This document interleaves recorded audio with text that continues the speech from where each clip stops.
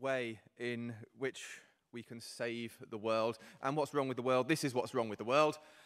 Uh, here are a few pictures of recent extreme weather events.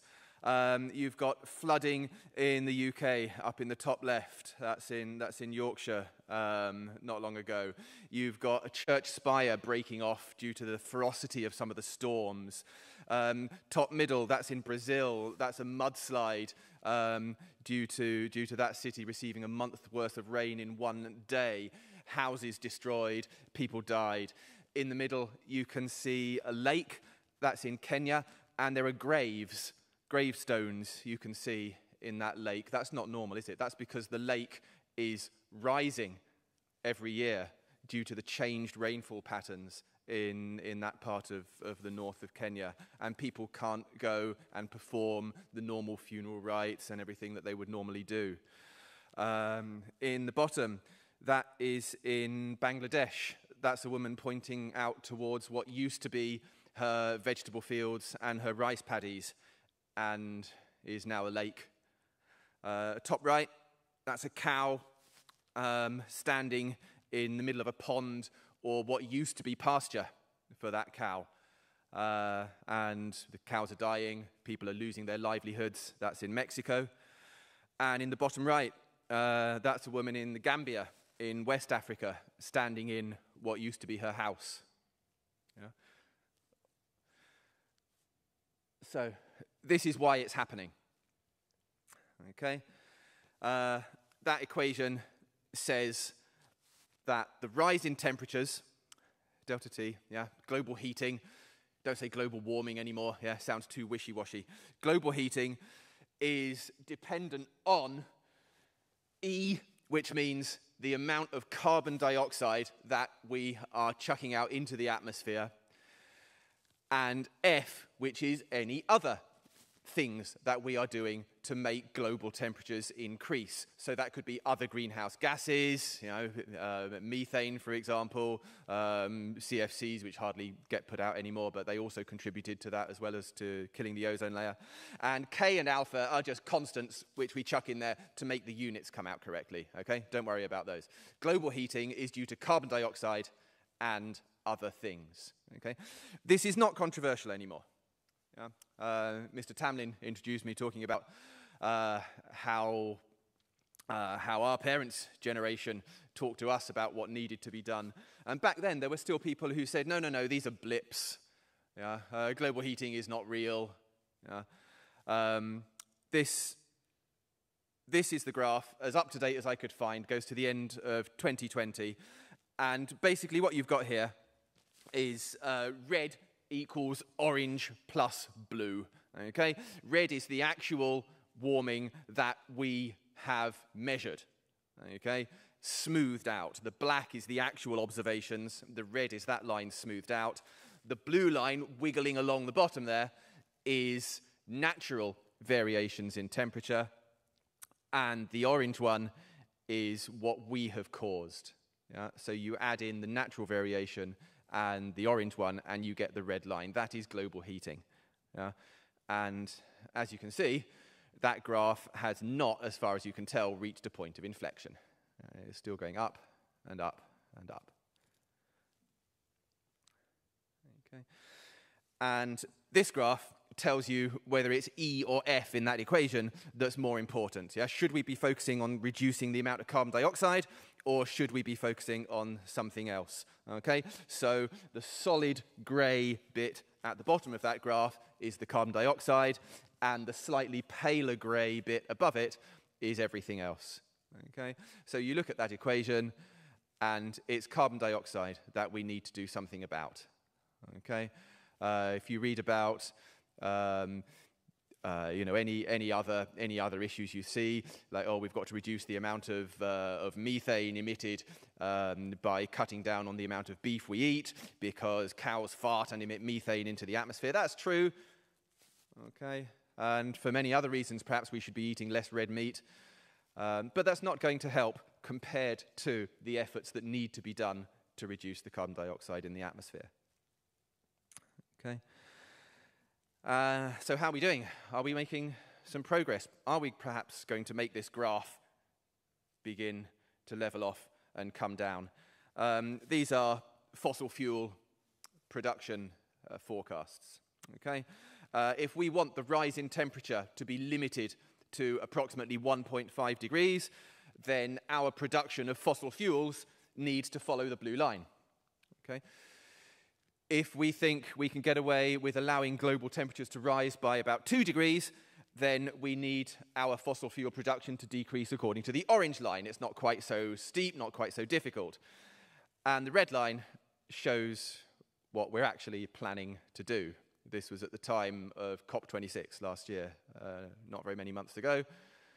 Uh, uh, this is how much notice governments are taking of the need to reduce carbon dioxide. Okay? Uh, all those pictures that I showed you, apart from the ones I picked in the UK, because they speak to me, most of them are in the developing world. And the climate crisis is hitting the developing world harder. Uh, but it's going to come and, and, hit us all before long, yeah, particularly if that's the best we can do. Well, uh, what is being done? There are efforts being made to reduce CO2 emissions, aren't there? We are bringing more and more renewable sources into the electrical power generation industry, for example. Okay? Uh, there are attempts to capture CO2 that's already in the atmosphere. There are some technological ways of doing this, but they don't work very well so far. And some countries, some groups are trying to reforest areas, plant more trees to make up for the ones that we're cutting down. Okay? And there are more and more serious efforts into what's called geoengineering, which is um, a term we use to mean large scale ways to try and adjust the Earth's climate deliberately, such as uh, you know, building some kind of great shield to divert some, not all, of the sun's radiation. Uh, kind of like living in Highlander 2, was it? Highlander 3? I don't know. Um, these ideas may work, but they may also have unintended consequences. This is a problem, of course, with new technologies, and there isn't a lot of time to see whether any of these are going to work properly. I don't mean that these are useless. And maybe some of you are hoping to end up working in these areas, and that's a wonderful thing. But I've only got a certain amount of time. Um, so, hello? Yeah. Uh, rather than some of these, which are ways in which we're trying to produce less CO2, okay, uh, more nuclear power stations, is that a safe thing? Are we going to get more Fukushimas? Or is that because, oh, you know, in Japan, of course, they, they don't pay proper attention to safety. Uh, they have earthquakes. Rest of the world doesn't. No, that can't happen anywhere else. Or should we be playing safe and reduce the number of um, fission stations? Or renewables, as I said. In transport, this is another large source of CO2. Well, more and more electric cars, more and more hybrid cars. That's a good thing. Uh, some cities around the world have made headlines with their fleets of buses, public buses that, that run on hydrogen, for example. Um, and these are also good things, but they're not addressing enough of the problem. There are still too many petrol cars and diesel cars, and those aren't the only ways we get around, are they? Uh, how, many, um, how many hours do we all spend in aeroplanes every year? Not as many as we used to for staff traveling to other countries around the world, but uh, a lot. And battery powered aeroplanes are not on the horizon. Battery powered ships crisscrossing the world, delivering our goods, are not on the horizon. They use hydrocarbons. They're going to use hydrocarbons for the foreseeable future. Uh, so I want to look at this today. This is one way in which we might be able to save the world uh, a bit quicker. You, have heard of nuclear fusion. Um, getting energy from atomic nuclei happens in two ways. Nuclear fission, which we already do, we do it in the nuclear power stations, works by uh, inducing a nucleus to break apart. The mass of the product is less than the mass of what you started with. That missing mass has become energy. Okay?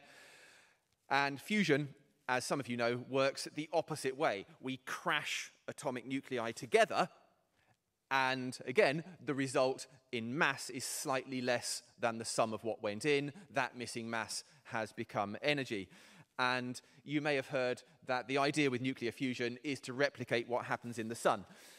In the sun, nuclear fusion does happen. This happens. You can see four protons at the top, and then on the second row, another two protons join in, one on each side.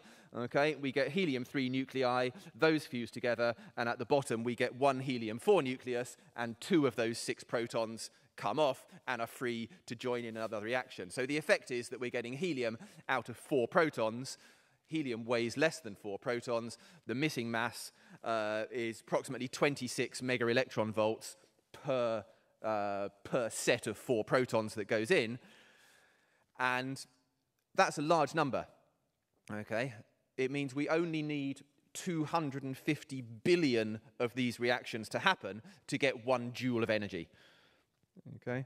Uh, that might not seem like a large number, one 250 billionth of a joule. But just getting that from four protons is, um, is a big deal. Okay? That's only 0.6% of the mass of those original four protons, yeah? but it's a lot. Uh, that's not the only process in the sun that makes the sun shine and gives us the energy, but it accounts for most of it. So I'm going to say that's what happens in the sun. That is the principal process that supports life on Earth. Okay? Uh, wouldn't it be a, a nice kind of circle if I could say yes, and this is also the process that we are going to use to safeguard life on Earth by building nuclear fusion power stations that do this rather than burn, uh, burn hydrocarbons. Um, sadly, it's not quite right. I'm going to be fussy. Um, this is what nuclear fusion reactors that we're building on Earth are attempting to do. They collide not two protons together and then uh, on that side, another two over here, and crash them together like the proton-proton reaction. They crash a deuterium nucleus and a tritium nucleus together, hydrogen 2 and hydrogen 3. Um, and you can see the result there is uh, 17.5 mega electron volts. It's not quite as much as you get from the proton-proton reaction, but it's still a nice big number, and this is a much easier process to achieve. Um, again, a lot of you will know, the reason fusion is difficult is because you are trying to collide particles that are both positively charged. And Coulomb's law says that two positive charges uh, have a repulsive force between them. And we have to get over that barrier. We have to crash the particles together so fast uh, that they overcome that Coulomb repulsion and get so close that the nuclear forces take over yeah? and the nuclear forces are attractive. Okay? That barrier in this process is only about 0.1 mega electron volts. So, prima facie, you say to yourselves, oh, okay, that should not be too hard. We should be able to get a lot more energy out than we need to put in. And yes, logic says we should, but it's hard. Okay? Um, so, you need to start with a state of matter called the plasma. This is what you get if you keep heating, right? You heat a solid, it melts, you get a liquid. You heat a liquid, it boils, you get a gas. You heat a gas, and eventually the electrons have enough energy to separate from their parent atoms, and you get positive ions, the nucleus, okay, and you get the electrons separated. They no longer have any connection with each other, okay? It happens, I just liked this picture of lightning. Um, lightning does create a small amount of plasma. Lightning heats up the air around it to about perhaps 30,000 Kelvin, okay? Um, which, if you convert that into electron volts, uh, we, we sometimes measure temperature in electron volts when we're doing fusion uh, because it's just another measure of the, the speed, right? You accelerate particles, you know, how much energy have they got, uh, measure it in electron volts. And you know that the ionization of hydrogen, for example, is about 13, 13.6 or something electron volts. 30,000 Kelvin corresponds to approximately 3 electron volts. Okay? So when you get a lightning strike, most of the air around each fork doesn't become plasma, but you get some, right? Because it's, it's an average. It's nowhere near enough. Okay? In a fusion reactor, we need roughly 100 million Kelvin. Yeah, 100 million. We need it to be about 3,000 times hotter than a bolt of lightning. And of course, we need it to be safe. We need to be able to control it. We need to be able to push buttons and make sure that it's all being, uh, being looked after carefully. So it's very, very hard. Uh, what's my point before I go on? Yeah. So, but the point is that because a plasma is made of separated electrons and positive ions, everything in it is charged. Since everything in it is charged, we can use electric fields and magnetic fields to control where it goes. Okay? So this idea was recognized uh, quite a long time ago now, and the first attempts to actually build a container, if you like, or a building that could, uh, could control the movement of a plasma um, happened mostly in the Soviet Union back in the uh, ooh, early 50s, I should say. And this is what they were thinking to themselves right, if we can get fusion to work, we can achieve cheap energy. Back then, there wasn't any climate crisis, but still, cheap energy is good. Yeah? Nuclear fuel has a much higher energy density than anything else. It means we get much more energy compared to the volume of fuel that we use, or you could also call it uh, specific energy, energy per kilogram of fuel that we use. Fusion is better even than nuclear fission in that regard, and fission is uh, hundreds of thousands of times better than your hydrocarbons, your biofuels, or even if you convert renewable energy into that sort of number. Uh, it is a lot safer to use fusion rather than fission because you don't end up with radioactive byproducts, yeah, or nearly none. You do get a certain amount of tritium, which is radioactive as a byproduct, but the half-life of tritium is only about 12 years compared to the half-life of the transuranic elements that you get out of a fission power station, which have half-lives of hundreds or thousands of years. All right, so we're confident that we can do that. We can arrange safe disposal and storage of the byproducts of a fusion station um, and, and not have to worry about leaving our descendants no-go areas in the world. And the fuel that we use, uh, you get deuterium from seawater. It's not difficult to get. Uh, the tritium you need to get from other sources, but again, not, not expensive. Uh, so that's what it looks like. That's called a tokamak. Uh, tokamak is an acronym in Russian for a donut shaped room with magnetic fields in it. Okay? Uh, you mathematicians are guessing that the to bit is toroid or torus, right? That's donut.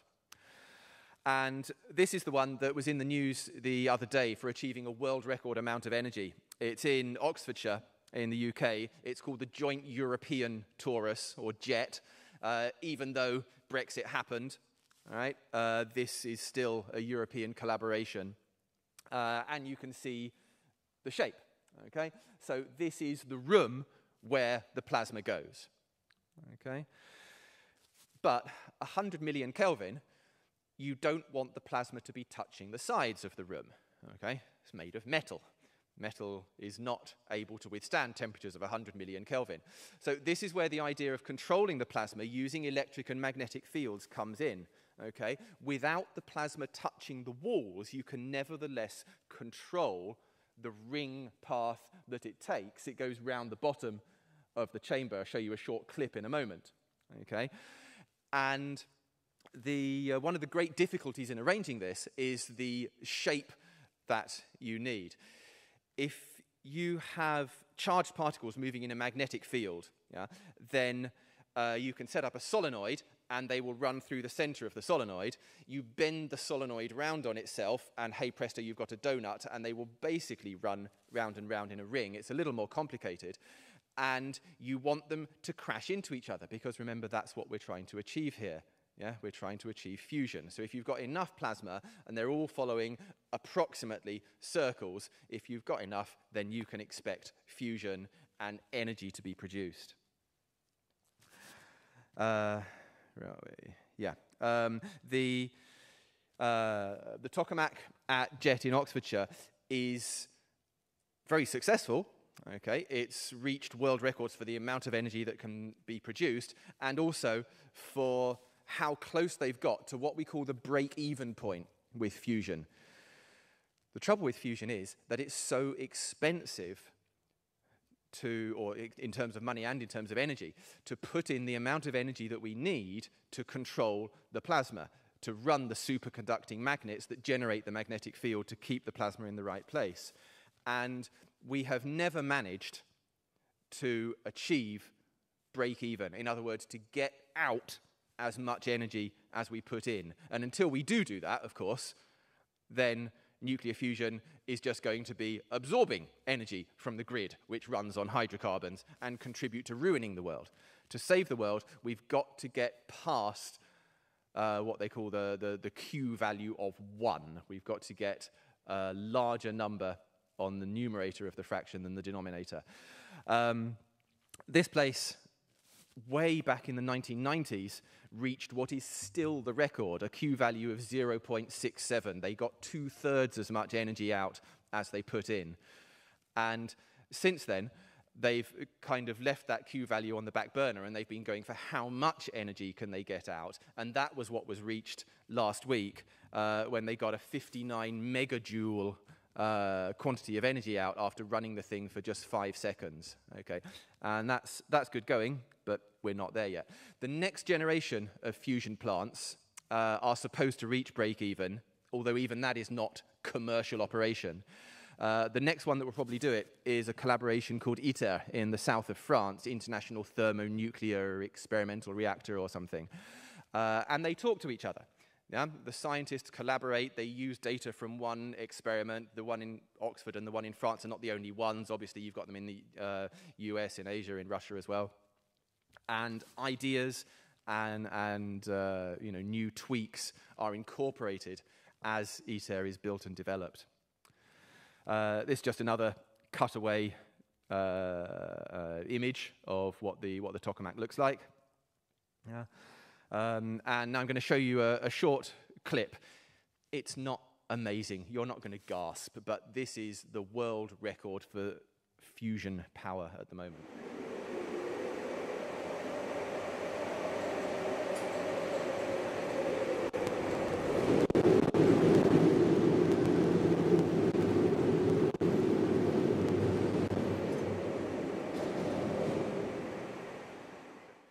You go. That's it. That's your 100 million Kelvin pulse of 59 megajoules of energy from nuclear fusion. That's the best we can do at the moment, but research continues. But when are we going to get there? Uh, it's been said for decades, since the 40s, in fact, that nuclear fusion is going to be a thing in 30 years' time, and people are still saying it. ITER is meant to come online in the middle of the next decade, about 2035.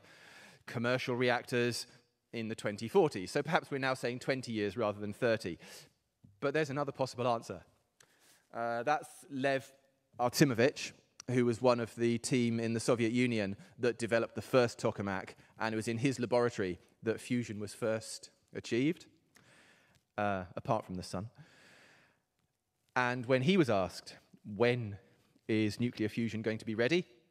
His answer was, it'll be ready when society needs it. And I'm just kind of hoping that he's right. That's all. Thank you very much.